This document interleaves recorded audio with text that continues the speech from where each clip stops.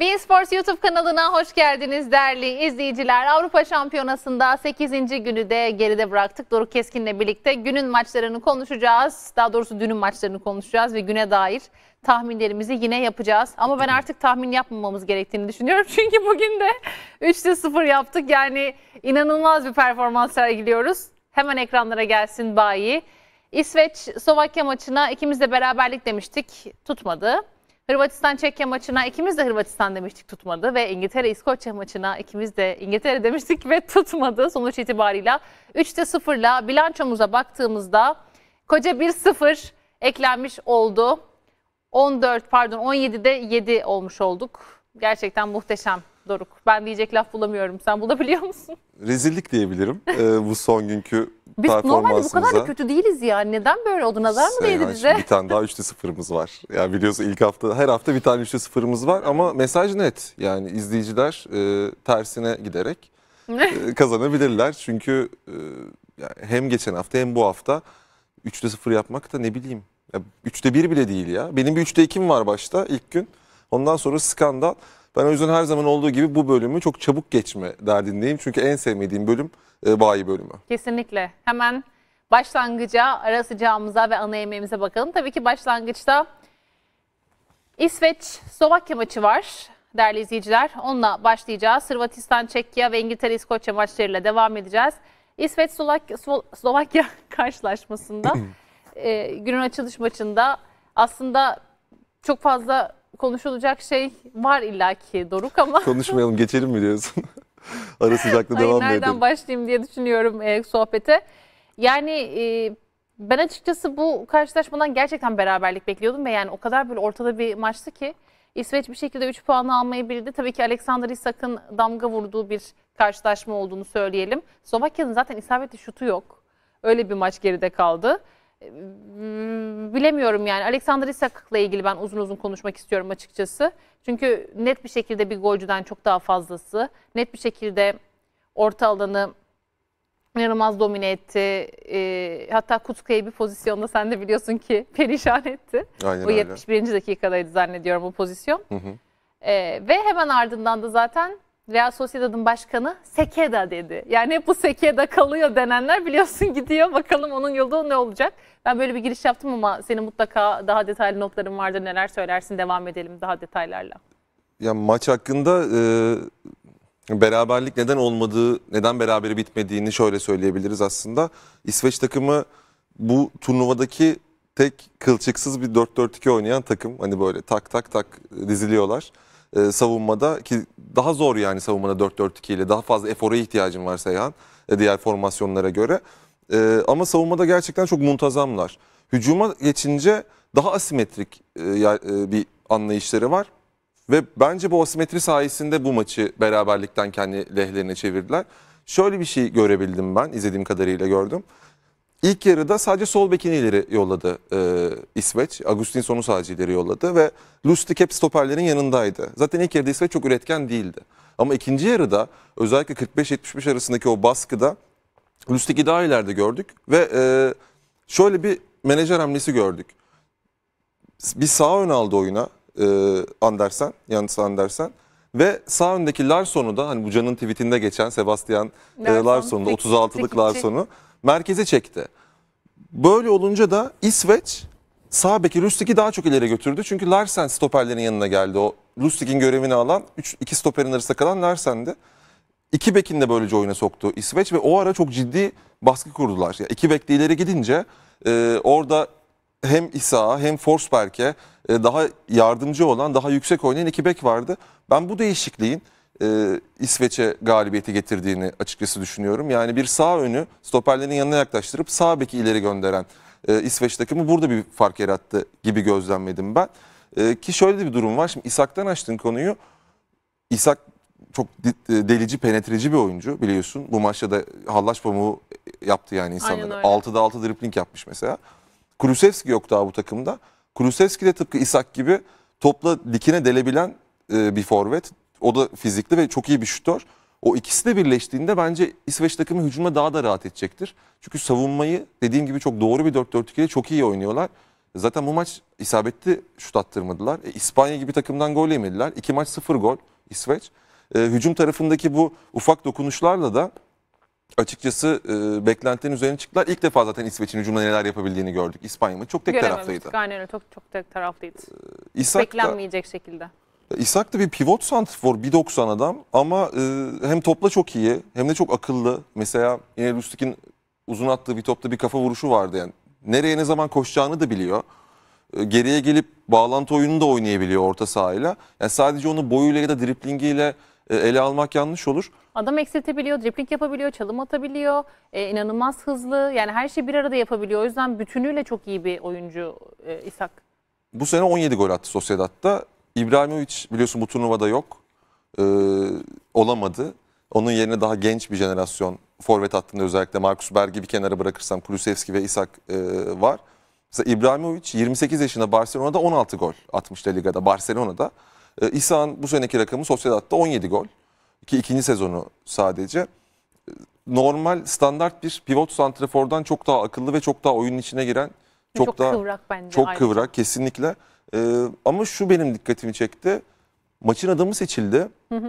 Biz de galiba günün futbolcusu yaptık. Yani gol katkısı yapmadan e, bir forveti bu kadar övdüğümüzü çok hatırlamıyorum bu turnuvada Çünkü şu ana çok dek. yıldızlaştı, çok parladı maçın içerisinde yani. Herkesin pür dikkat kesilerek izlediği kişi oydu. Yani bir de o kadar estetik ki hareketleri ister istemez e, onu izlemeye ve onu e, öne çıkarmaya böyle şey hissedi- hissediyorsun kendine. Zorunlu gibi hissediyorsun. Evet, göze çok hoş geliyor gerçekten. Evet. Ee, Bu arada Lineker'le ilgili o sohbeti de Lineker tweetini de ekranlara getirelim hazır İshak'tan bahsederken. Çünkü o da e, çok şeydi, tatlı bir e, kodu oldu. Şimdi e, şöyle bir... Ba- Bu maç sonu değil mi? Evet Maç evet aynen öyle. Şöyle bir sohbet oluyor. Ee, Ge- Geri Lineker'le ilgili olarak, kendisiyle ilgili söylediği sözlerle ilgili olarak. Kim olduğunu bilmiyorum. Şu anda e, stüdyoda çalışan eski bir oyuncu mu Lineker diyor. Ondan sonra bunun üzerine e, soruyu soran da diyor ki 96 yılında en golcü oyuncuydu Dünya Kupası'nda diyor. Onun üzerine de o da diyor ki, İshak da diyor ki o zaman ben daha henüz doğamamıştım. Ee, ama tabii ki onunla ilgili ufak tefek birkaç bilgim var diyor. Sonrasında Gerili Neker, Gerili Neker bunu alıntılıyor ve yaşlı amca emojisiyle gördüğünüz gibi paylaşıyor. Hayır, İshak e, Twitter'da kullanmıyor galiba. Çünkü hani Lineker'i Yani sağdan evet, tanımıyorsan. Twitter'dan e, kesin denk gelmen lazım. Tam o zaman trendsetter aynı zamanda her şeyi bir tarafa. değil mi? Evet öyle de bir özelliği var Gerili Neker'in artık şu anda. Bu arada Medyada. hani sadece oynamadığı yani doğum doğduğundan önce e, oynamayan oyuncuları bilmemesi biraz uç bir şey değil mi yani? Hani Ve nasıl Gerili bilmiyorum. Neker yani hani çok kenarda köşede kalmış bir oyuncu da değil ki. Ben de anlamadım açıkçası. Ya bazı sporcular şey oluyor böyle hani e, profesyoneller de yapıyor. Yaptıkları sporu çok takip etmeyi biliyorlar açıkçası. Evet. Ama bu çok uç bir örnek. Ya Gerili Neker'i tanımaması dediğim gibi en kötü abi Twitter'dan kesin önüne bir biri fav atar yani. Bir takım arkadaşının falan favı düşmüştür diye düşünüyorum. Normalde öyle olması lazım doğru söylüyorsun ama tanımıyormuş ya da işte çok az şey duymuş. Öğrenmiş oldu. Öğrenmiş yani Öğrenmiş oldu gerçekten de. Bu maçla ilgili e, ekleyeceğimiz bir başka konu galiba yaş konusu olacak. Çünkü hem e, bu karşılaşma Avrupa Şampiyonası tarihindeki en yaşlı iki ekibin karşılaşmasıydı. E, totalde 30 yaş 125 gün ortalaması. En eskisi de daha doğrusu en yaşlısı da e, Avrupa Şampiyonası'nda 2008'de yine İsveç'in olduğu bir maç. Yunanistan-İsveç karşılaşması sevgili izleyiciler. Orada da 30 yaş 177 gün imiş. Yunanistan İsveç'te tam bu şeyin Evet. istatistiğin maçıymış ya Aynen gerçekten öyle. isminden Aa, belli. İsveç'te hep içinde ama İsveç hep orada en yaşlılar kervanında birinci sırada. Ama ona rağmen ben tempolarını gayet yeterli buldum. iyi buldum yani. E, Slovaklar ikinci yarı hiç Kondisyonları iyi. getirmediler. Ya ilk yarı ç- savundular o baskı. mesela İspanya'nın baskısına karşı da e, o kadar direnmek kolay değil. E, bu maçta da topla beraber de gayet yapabileceklerini gösterdiler. Umut vermeye başladı İsveç. Yani gruptan muhtemelen çıkacaklar. 4 yaptılar zaten puanı. Ama bu savunma performansıyla bana biraz şey hatırlattılar. E, Crystal Palace vari bir savunmaları var. 4-4-2 bütün kanatlar geliyor ya- yardım ediyor beklere. E, onlar da böyle çakılı 4-4-2 savunmasını iyi yapardır o yatsında. Öyle bir e, durumları var. İyi savunmaya tutturmuşlar. Ve En geçebilecekler gibi görünüyor grubu dediğin gibi. İsveç 4 puanda, Slovakya 3 puanda. Bakalım E, şimdi İspanya'da muhtemelen oradan yoluna devam edecek gibi görünüyor ama yine de Ya İspanya Slovakya oynuyor değil mi son maç? evet Polonya İsveç oynuyor. doğru. Ee, bir avantajı avantajları olacak yani. Slovakların İspanyolları e, ve Polonya'nın da İspanya İspanya'yı yenmeyeceğini, yenemeyeceğini düşünerek tabii söylüyoruz. O zaman başlangıcı noktalayalım. Geçelim ara sıcağa. Ara sıcakta Hırvatistan-Çekya karşılaşması var. Ben itiraf ediyorum Çekya ile ilgili olarak şöyle düşünmüştüm Doruk. Yani biraz şansa hani o ilk maçta Patrick Schick'in ekstra golleri falan öyle bir sonuç oldu. Şimdi Hırvatistan kazanır diye düşünmüştüm. Hırvatistan kendini bulur diye düşünmüştüm. Öyle olmadı. Ya ben de benzer düşüncelerdeydim. Şimdi ara sıcak diye verdik ama bu kıyıntıyı bilir misin? Kıyıntı. Bilmez miyim? Çok da severim. Hafif böyle arada atarsın ufak. e, Yani seni tutar. kahvaltılık falan. Aynen seni tutar yani. Ee, gerçekten kıyıntıydı ara sıcaktan ziyade. Kıydı çünkü içimizde Hırvatistan. Harbiden kıydı yani Seyhan. Sen de galiba bir yerde ufak bir şekerleme yapmak zorunda kaldın bu maçtan dolayı. Uyuyakalmışım maç izlerken. Ee, Uyandığımda bir anda baktım böyle bir neyse ki goller falan var. ya zaten üç Atılmıştı. tane kaleyi bulan şut var. Ee, ki Çekya'nın mesela Slovakya'nın kaleyi bulan şutu yok. Çekya'nın tek kaleyi bulan şutu penaltı.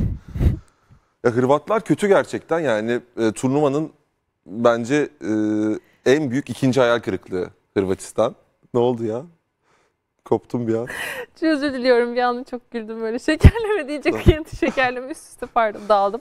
Evet aynen öyle. Değil mi? En büyük e, hayal kırıklıklarından biri. Çok şaşırtıyor beni nasıl böyle o- ya çünkü Hırvatistan'ın kadrosu kötü bir kadro değil yani. Değil ama bugün dün e, biraz kadroda oynamaları oldu. Brozovic'in bir hafif diz sakatlığı olduğu yazılıyordu. Ve e, bu maçta farklı tercihler yaptı Zlatko Dalic. Biraz çorba yaptı Rebic'in arkasını. Yani Brozovic'i çıkarıp Brekalo'yu 11'e alınca Brekalo'yu sola koydu. Öyle olunca Perisic diğer kanada geçti. Kramaric de Rebic'in arkasına geldi. Rebic'in etkin, e, etkin olamamasından bahsetmiştik burada ilk Evet. yayında. Tek forvette sıkıntı yaşadığından. Belki biraz onu e, desteklemek için Kramaric arkasına koydu. Ama bu sefer de sağda Perisic çok etkisiz kaldı. Öyle olunca hiçbir şey yaratamadılar. E, orta sahayı tamamen Çekya'ya bıraktılar ki Hırvatistan'ın en önemli, yani en kuvvetli yeri orta sahası. O Çekya'ya orayı Bir vermeleri. Modric var yani. Ya Modric, Her şey bir tarafa. Kovacic, bu maç olmaz e, yoktu. Brozovic var. İkinci yarı e, zaten Zlatko Dalic de yanlış bir karar verdiğini düşünecek ki devre arasında iki tane oyuncu değiştirdi ve Perisic doğru mevkini aldı sola. İşte o zaman bir bağlantı oldu. Ya Gvardiol bence sahne en iyisiydi Hırvatlar için. E, sol bek ki muhtemelen Leipzig'te sol stoper oynayacak. Ama işte hem e, hücuma katkısı hem driblingi hem tekniğiyle ön plana çıktı. O Perisic'le bir bağ kurunca e, bir tık işleri normalleştirmeye çalıştılar ama mesela hiç gidip rakipleri sahaya yerleşmediler. Hani hiç orada kalmadılar. Hep böyle bir arkadaşa bakıp çıkar gibi girdiler, e, gittiler kaleye, denediler, döndüler. Bu arada uyanık olduğum bölümde yani maçın başlarında Çekya gerçekten ilk yarı Hırvatistan'ı bayağı abondane etti gibi bir durum da oldu bir, bir, bir, bir bölümde. İşte ya Hırvatlar zaten dedim ya topu Evet. alıp e, kendileri oyunlarını oynayabilecek Sonra zamanı zaten dediğin bulamadılar. değişikliklerin ardından ikinci yarı itibariyle biraz daha işler değişti. Bu arada Peris için golü de enfesti. Peris'in golü enfesti ama o da mesela çabuk başladığım bir hücumda. Hani yine yerleşik Evet. oyunda değil. Şöyle bir problem var. Ee, işte diyorum Rebic'in so- sorunu en uçta oynadığında yaşadığı sorun. Ee, bir ya- yanına bir o 9 numaranın arkasında oynamak istiyor Rebic hep. Genelde işte Jovic'le de bunu yapmıştı. Ee, İbrahimovic'le de bunu yapmıştı. Mesela Dünya Kupası kadrosunda Mandzukic vardı. Mandzukic, Perisic, Rebic oynuyorlardı 4-3-3'ü. Ve çok daha etkinlerdi. E şimdi Manzukic'in yerine Rebic'i koymaya çalışıyorlar. E Kramaric 20 gol attı bu sene. E, Formda adam. Onu bir yere eklemeye çalışıyorlar. E, onu yapamayınca ya bir türlü o kimyayı bulabilmiş durumda değil e, Hırvat takımı. Mesela 3 dakika kala maçın bitmesine Brozovic Kovacic değişikliği oldu. Evet. Ne anlam ifade ettiğini anlamış değilim. Yani ne için yapıldı bu değişiklik? Ya Brozovic oyuna alacaksa orta sahayı tutamadığı zamanda niye almadı? Ya da orta sahayı niye üçlemedi Brozovic, Kovacic, Modric olarak? Gibi gibi sorular var. Ya da Lovren'le başladı mesela. Evet. Çarı çıkardı, Lovren'i koydu. Adam penaltı yaptırdı. Ee, ya işleri pek kolay Çok emin gözükmüyor. değil kafası karışık gibi birazcık. Bilmem katılır mısın?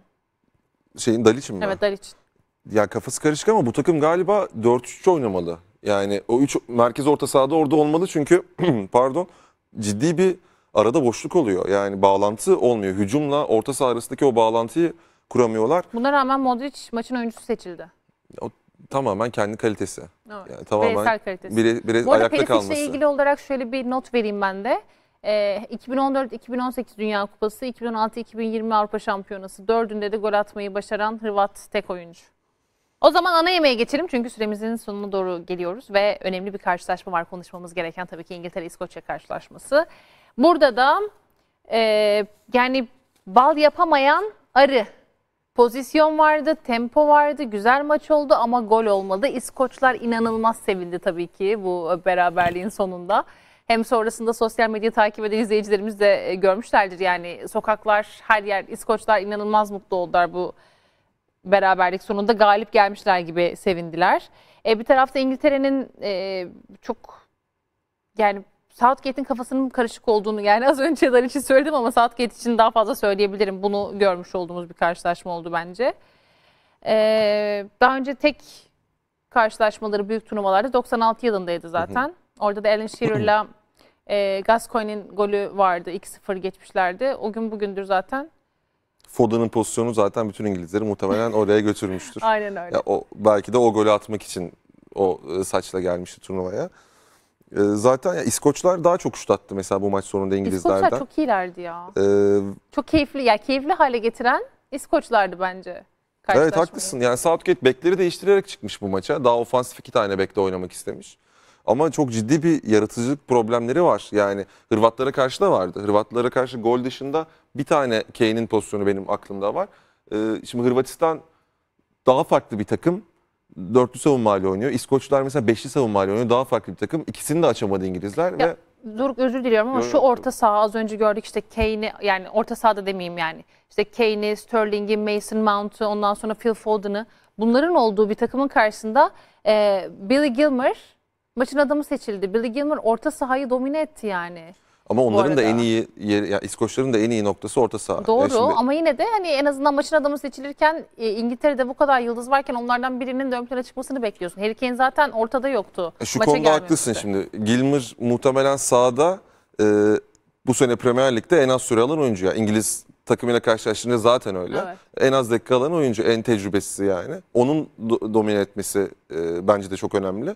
Ama dediğim gibi İskoçlar en iyi 11'lerini çıkarmışlar yani. Che Adams vardı bugün ilk maçta olmayan 11'de. E, Tierney dönmüştü. Ve o orta sahadaki üçlüyü kurmak için de McTominay'i stopere çektiler. Yani mesela İngiltere'nin üçlü savunmanın biri bek, biri defansif orta saha olan bir üçlü savunmayı açamaması da biraz enteresan. Yani normal orijin pozisyonları bu Sistemin değil. de işlediğini görmüş olduk bu arada. İskoçlar adına evet. Evet. Ya Tierney'nin var tabii sol stoper oynadığı Arsenal'de ama aslında bir sol bek. E, McTominay de bir defansif orta saha. Zaten hep McTominay'in tarafını denediler. Hep orada bir üçgen kurdular. Shaw, Kane, e, Sterling üzerinden ya da Mount oraya gitti. Ki Mount'u istedikleri yerde topla buluşturdular Seyhan. Hani savunma önünde bir boşluk buldu hep Evet. Mount kendine.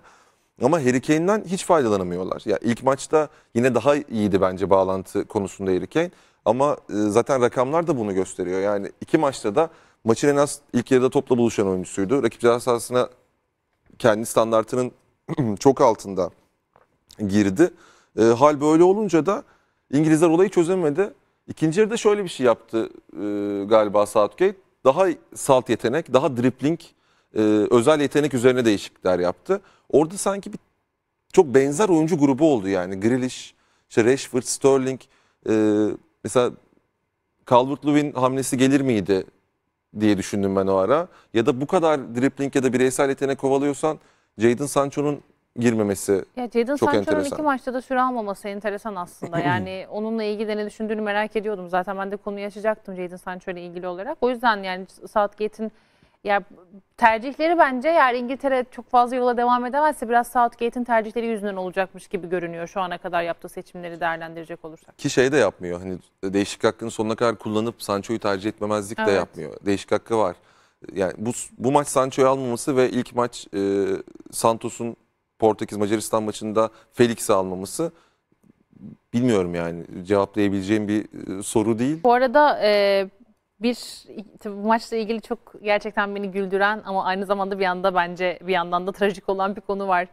E, sen de biliyorsun ki Alex Ferguson maça gidiyor maçtan birkaç Skandal saat mı? önce. Yani Kesinlikle skandal. Şu anda da zaten izleyicilerimiz de görüyor o anı. VIP e, otoparkına girmek istiyor fakat oradaki e, biraz da hani yaşlı bir amca E, onun daha Buraya- daha buraya net park tanıması gerekmiyor mu? diyor. Hani İshak muhabbeti Ve- gibi. Evet, onun evet, onun aynen, tanıması gerekiyor. Aynen öyle. Buraya park edemezsiniz diyor e, ve oraya park etmiyor. Alex Ferguson gidiyor başka bir yere park ediyor mu? Sonuçta yani kapıdan döndürülüyor. Bu döndürülüyor. Alex Ferguson Wembley'nin kapısından VIP otoparkından döndürülüyor yani. O da çok enteresan bir. Oralarda zaten kurallara çok fazla uyuluyor bunu biliyorum. Tamam ama yani Alex Ferguson'a da orada bir şey yap yani bir, bir imtiyaz tanı. Benim de aklıma sen bunu söyleyince şey geldi. Şampiyonlar Ligi maçlarından önce herkesin akreditasyonuna bakıyorlar ya. Hatta bunu konuşmuştuk bir e, senin yayınında. İşte Modric'in bile ya atıyorum Modric, Ronaldo geliyor abi kartına bakıyorlar. Federer Nadal da tenis turnuvalarında gösteriyorlar. Hatta e, onunla ilgili problem olmuştu. Akreditasyon yok diye içeri falan Ya almamışlar. tabii burada bir tanımama Komik komik durumu yok. şeyler. Ya tabii ki. Bu bir kural Yani bu bir kural. işleniyor. Ama işte burada bir akreditasyon da yok yani. Alex Ferguson'da bir zahmet al VIP otoparkına. Ki bir de İskoçya İngiltere maçı yani. Sir Alex Ferguson derbisi gibi bir şey e, yer bulamaması otoparkta çok üzücü gerçekten. Gerçekten orada çok ön plana çıktı. E, başka neyimiz var konuşacağımız? Bilmiyorum. Yani Bu maça dair. bugün. E, en az şut konusu e, var. Hı, evet. Ona bir girmemiz Doğru. gerekiyor. Onu not almışız. Yoksa çünkü not almayınca unutuyoruz artık. O yüzden kağıtlarımızla çıkıyoruz. 2020'nin en az isabetli şut çeken takımlarına bakıyorsunuz. İngiltere'de burada kendisine yer buldu ki aslında çok beklenen bir şey değil bu normal şartlarda. Hırvatlar da yine orada bak. Evet. İngiltere sadece 3 isabetli şut buldu toplamda. Ya bu kadar geniş kadrodan tabii e, böyle bir yaratıcılık problemi çıkması çok enteresan. Tabii Kane'i ne kadar doğru yerde topla buluşturduğunuzda biraz alakalı galiba e, bu istatistik. Çünkü ondan çok verim alamıyor şu ana kadar e, İngiltere milli takımı. Yerine bir yani dediğim gibi belki bir Calvert-Lewin hamlesi ileride atılabilir mi bilmiyorum. E, ama ilk iki maçlara bakarsak ya özellikle Slovakya'nın ve Finlandiya'nın olduğu bir listede olması İngiltere'nin yukarıda kendileri adına bu kadar geniş havuzda çok yetenekli bireysel oyuncuların olduğu havuzda çok ciddi bir e, problem gibi gözüküyor. O zaman ellere bakalım. Günün ellerinde bugün kimleri seçmişiz, neleri seçmişiz. Günün takımı bugün İskoçya oldu. Günün futbolcusu tabii ki Alexander Isak oldu. Onu zaten çokça konuştuk. Yani ne kadar gol atmamış olsa da çok yıldızlaştı. Ve son olarak da günün teknik direktörü Anderson oldu. İshak tabii burada aslında çok verimsiz bir gün oldu bence. E, o yüzden İshak ya bireysel yetenekleriyle biraz ön plana çıktı. E, genelde e, tabii ki katkısı var, oyuna büyük katkısı var ama dediğim gibi çok skorer olmayan birini koymuyoruz e, bir forvet seçiyorsak. Anderson kesinlikle bence o ufak dokunuşlarıyla, o 60-65'teki değişikliğiyle e, maçı çözen e, teknik adam olduğu için onu seçtik. İskoçlar da net favoriye, turnuvanın favorilerinden birine karşı çok iyi mücadele ettiler ve bunu sadece savunarak yapmadılar. O yüzden günün takımılar. Kesinlikle katılıyorum. Bugün hemfikiriz. Dün sen Kuzey Makedonya konusunda çok fazla hemfikir olmasan. Yani evet. Ya İshak da mesela bana sorarsan o maçın X faktörü Lustig'ti sabek ama e, altı dripling, işte spektaküler hareketler ve iyi e, top oynadıysak o yüzden tabii onu koyduk. Evet o zaman gelelim bugünün tahminlerine. Bakalım bugün ne yapacağız? Dünkü 3'te 0'dan sonra. Macaristan Fransa ne diyorsun? Ya ne diyeyim? Ne desem beğenirsin. Ya Fransa'yı da yakmak istemiyorum. Çok önemli bir maça çıkıyorlar. E, Fransa kazanır diyorum ya ben. Ben de. Fransa kazanır diyorum. Portekiz Analiz bir Almanya. yorum yaptık yine burada. Ee, Portekiz Almanya maçına beraberlik diyeceğim. Ya bu da şöyle. Ben de gittim geldim Portekiz dedim sonra. Ya maç Almanya'da diye diyorum. Şey çok enteresan çünkü Portekiz Almanya Almanya'da oynuyor. Favori Portekiz gibi görünüyor yani. Evet ama nedense çok arada kalmama rağmen, Allianz olmasına rağmen sonra Portekiz gibi düşündüm orayı ben. Portekiz dedim. Haklı çıkacaksın gibi duruyor. Ben de Bakalım. yani çok arada kaldım. Belli burada. olmaz. İspanya, Polonya'da İspanya'nın İspanya dedik ikimiz aynen de artık İspanya'nın yani. kilidi açacağını düşünüyorum ben Polonya'ya karşı. Artık o kadar e, topla sahip olmaya, o kadar şuta, o kadar pasa muhtemelen bu maçta onun neticesini alacaklar diye düşünüyorum. İlk maçta yapamadıklarını bu maç yapacaklar diye düşünüyorum. bir de ben Polonya'da bizi haklı çıkarabilir diye düşünüyorum. Yani Polonya'nın turnuva performansları kötü son dönemde. Ee, onlar da sanki ilk maçtan sonra toparlayamayacaklar gibi Lewandowski geliyor. yazık ya Lewandowski'nin kaderiyle Messi'nin kaderi Arjantin milli takımında Ama mesela Messi'nin çevresi çok daha Evet, kaliteli ya abi. ona rağmen Lewandowski'nin işte. Çevresindekilerle. düşününce doğru Aynen, söylüyorsun. daha kaliteli kadrosu var yani. Lewandowski çok talihsiz. Evet, bir, bir tık milli takım konusunda e, çok düşük kalite çevresindekiler. Bayern'le kıyaslayamayız tabii ki. Evet peki o zaman bugün de süremizin sonuna geldik Doruk Keskin'le birlikte. Günün maçlarını değerlendirdik. Düne baktık sonuçları konuştuk. Elbette yarın tekrar karşınızda olacağız. Bakalım bugünkü tahminlerimiz nasıl olacak? Dilerim e, iyi çıkar artık. Yolumuza devam edebiliriz. Çünkü şu anda kötü gidiyoruz oldukça. Teşekkür ediyoruz bizi, bizi izlediğiniz için. Yarın görüşmek üzere. Hoşçakalın.